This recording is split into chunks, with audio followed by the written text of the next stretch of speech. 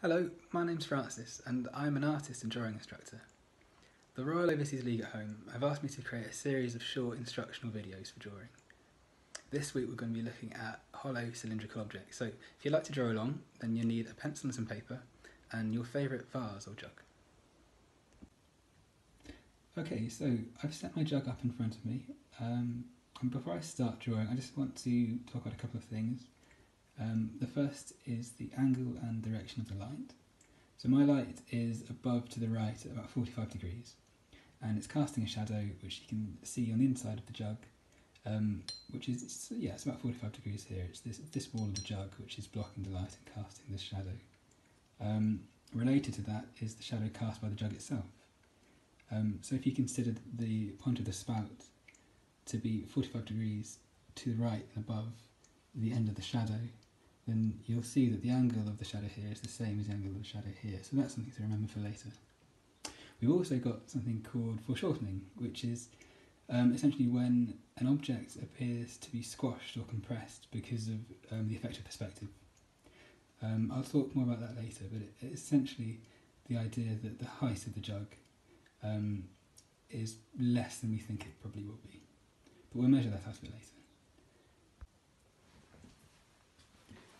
Okay, so the first thing we need to do is to get um, a nice outline of our drawing on the paper. Um, as I mentioned before, we're dealing with something called foreshortening. Um, and essentially what's happening in this drawing is that, say we were to hold the jug up to our eye level, we would see the height of the jug in full. And as we lower it, because we're looking over the top of the jug, as we lower it down to its position, we're increasingly looking at the jug from an over the top angle. And so our perception of the height of the jug um, becomes sort of squashed or shortened. The same thing, the same effect could be achieved if I hold the jug up to the camera like this. You'll see it for its full height. Um, as you start to sort of tilt the jug, so this sort of angle, you get what's called foreshortening. So we can still read that the jug is the height it is. Um, but obviously when we come to draw it, we're going to have to draw a sort of squashed or shortened version. So that's sort of what's happening here. Um, and the way to get around that, or, or to deal with that, um, or the way I'm going to get around to deal with that, is by taking a few measurements, um, just to help. So the first thing I want to do is measure out the width of the of the opening of the top. okay, so I'm going to put a mark sort of here, roughly sort of two thirds of the page, and that mark represents the um, the near side of the jug there. Um, so what I'm going to do is, because what I want is to find the distance between this and this as I sort of perceive it. So I'm going to do something that you've probably seen um, lots of artists do, and it's called it's called measuring, like this size measuring. And all I'm doing is aligning the top of my pencil to this edge of the of the jug, um, and my thumb I'm going to slide up to the position of the near edge there. Um, when you do this, bear in mind you always have to keep your position constant, so my feet are in the same place. My arm is locked, so it's always going to be the same length. Um, I'm just going to gently read that measurement, so it's about there. So on the page, I'll transfer it across, so I can see that that's more or less the measurement that I read. So I'll just double check. A bit closer maybe there. Yeah. So the next thing to do is to see how many times that measurement fits into the height of the jug overall. So I'll simply move it down to the top of the pencil is here. And I'll sort of visually gauge the point where my thumb is and move it down again. Great, so I'm reading that as twice. Um, so from the position where I'm standing, at arm's length, I'm reading it to be twice, about there. So, yeah, I mean, I think that feels kind of okay. A bit under, maybe it's, a, maybe it's more like there. Yeah. You don't have to get it right the first time, you can always sort of, uh, always double check, because you never know. Uh, yeah, it maybe in there actually.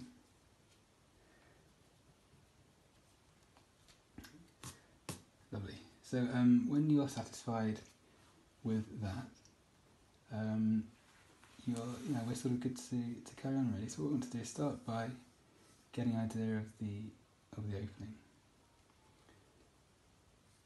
So if this is the sort of centre point because it's circular, I know that it's halfway there, it's halfway there, well, about there and there. Um, it's going to be roughly the same to there, and obviously the spout comes in. So yeah, but um, I'm not trying to be sort of super accurate. Sort of sketch, just get an idea really. So yeah, I'll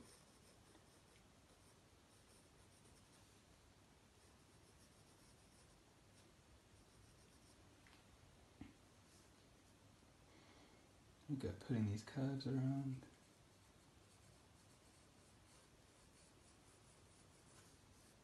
Um,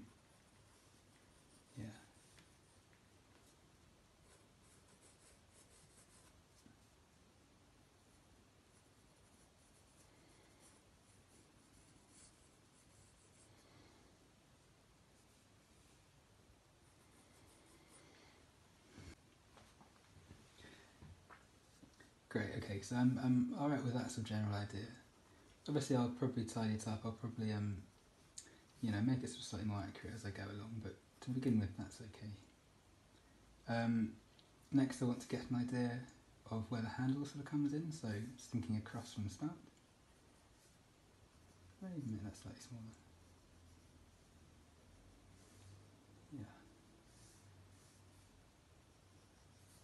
Yeah. Um, yeah, so the spout's sort of coming in right here. I'm using, I'm actually using the side of the pencil lead here um, to create a slightly sort of broader mark rather than sort of using the very end and being sort of like, oh, it's exactly that. Using the side to be sort of a bit more general with it, a bit sort of broader. So that's where the handle starts to come in. So in order to get the body of the jug in, the belly of the jug, let's start start down here because I know where that's going to be. And it is a curve.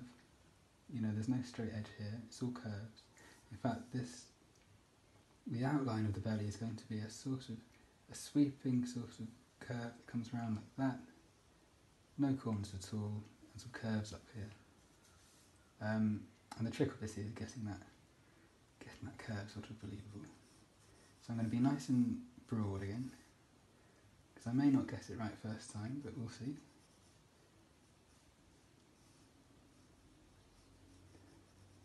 So when I'm doing this, I'm sort of thinking in relation of this curve, just with this curve, say.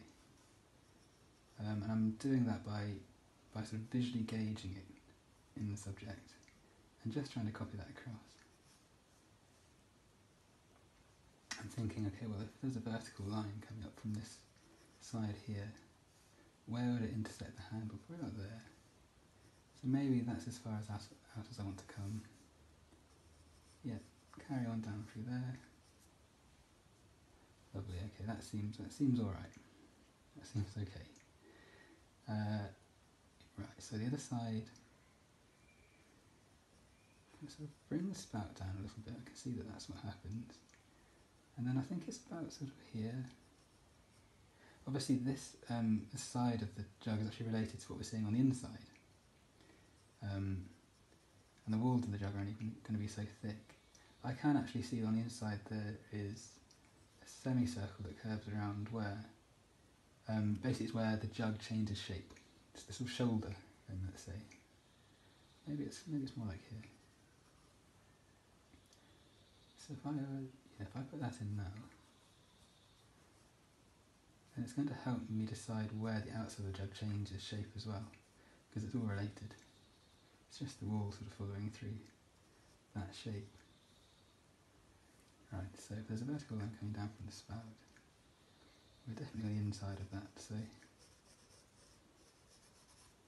must be about there. Great.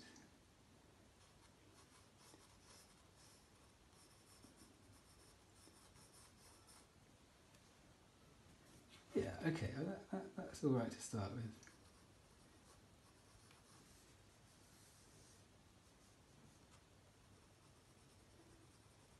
Maybe actually I want to bring out the um, to bring this out a bit more.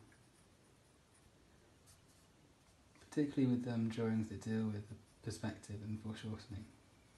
Um, don't feel like you have to get it right the first time. There's often a bit of moving around to sort of deal with things. Um, so I mean that's why it's useful to have, you know, the other drawing implement, very useful drawing implement, which is the rubber. Um, I wouldn't sort of use it to so much for getting rid of mistakes, but to sort of drive a, a drawing forward. You always want to be making positive forward sort of progress with it. So it's like changing this curve, putting it into the right place, rather than sort of stepping back and saying, "Oh, that wasn't quite right, so I'll get rid of that." More about moving it, moving it forward. I think that's how you have to think about it. Um, great. Okay. So to get the handle in the right place, I'm going to first of all think about this. It's called negative shape. Um, so it's the area of space inside the handle. I'm going to start with that because it's a small estimation of scale. And it's always easier if you can to first off establish the smaller estimations because they're easier to gauge. And then once you've built up a few of those smaller shapes, the larger ones are just easier because they tend to sort of follow the smaller ones. So there we are, I'm just going to bring this up through here. Lovely.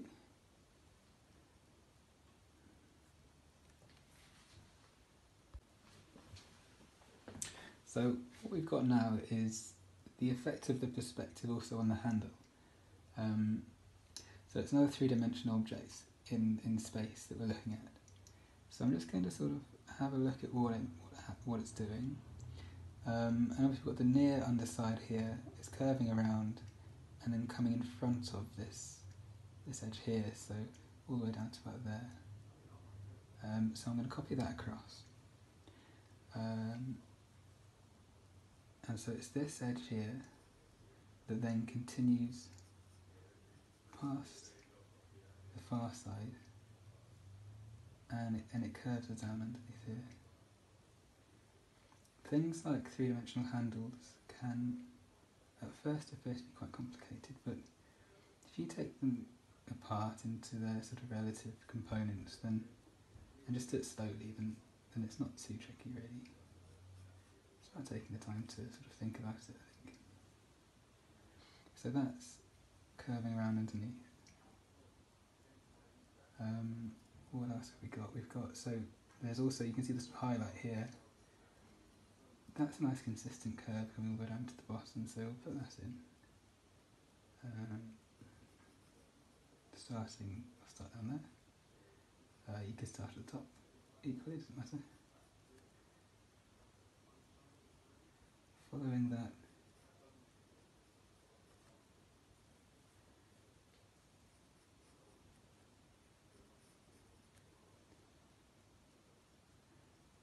Now, the far side curve follows parallel to this, to about here. So I'll put that in.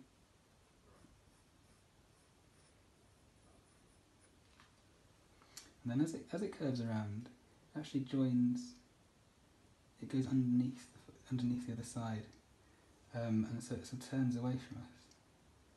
Um, obviously the handle is you know, turning consistently. So it's this edge here, and and the and the outside edge here are sort of related because it curves underneath that, um, essentially. So that's something to bear in mind.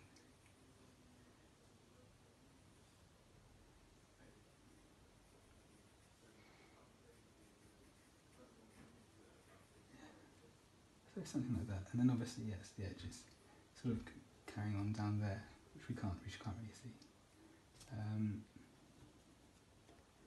lovely. So that's the handle, more or less. I mean, I'll tidy all this up later uh, uh, when we start to put the tone in.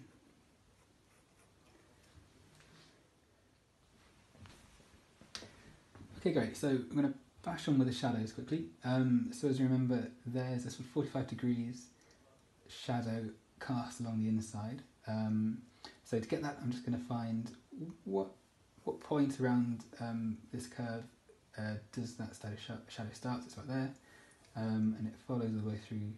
So yeah, it's more or less like that. Maybe it's not quite 45, but it's, it's something similar. Um, because of this, because of this curve uh, demonstrating the sort of shoulder, um, everything inside the belly of the jug is in shadow. So I'm going to actually just hatch that across. Let's just put that into shadow right right now at the start. Um, what else did we say? Well, there's a shadow obviously cast by the jug itself, and I'm going to change that to there, and that's similar. So that should be a very similar angle to the, this shadow. So if that's that, then it'll be about there. Yeah, which seems good.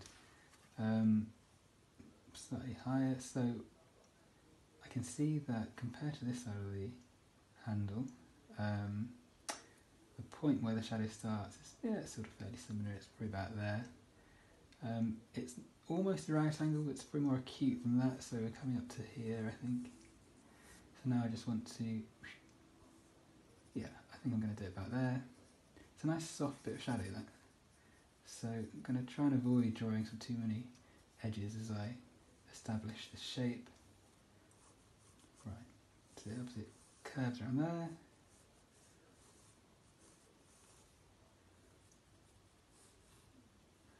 Lovely, okay.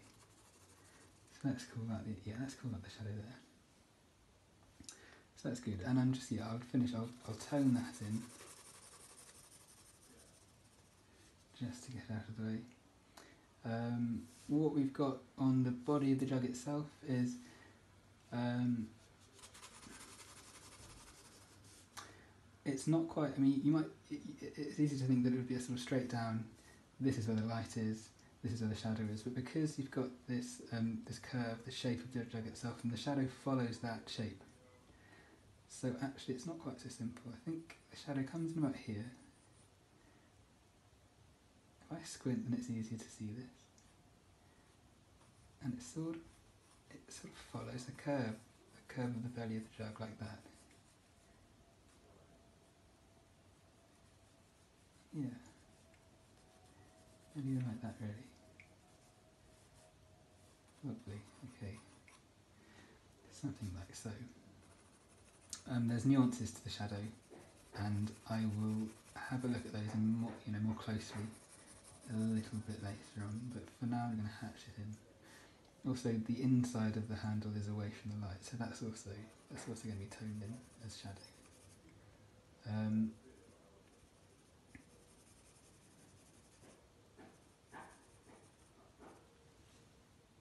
great, so that's the tricky bit of perspective and the um, shapes the shadows put in. Um, so I'm happy with that. And now the next stage is to crack on with uh, defining and refining those those tones. So so that's great.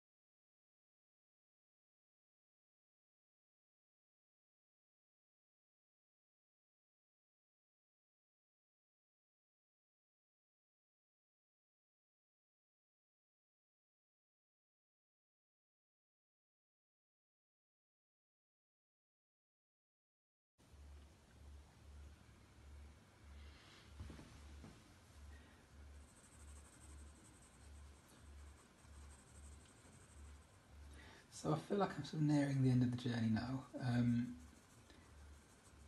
I've been working on this drawing for probably about 45 minutes um, in total. To speed it up for the video, of course.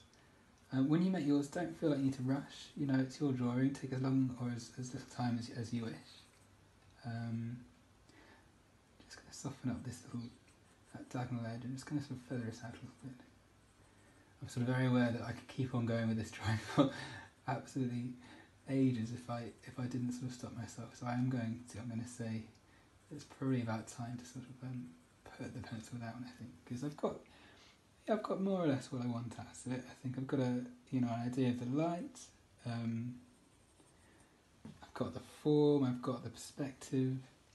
Um, and these are all things that we've looked at in the video. We've looked at the foreshortening, of course, um, and you know how to draw a handle in space. That was quite a that was quite a difficult thing.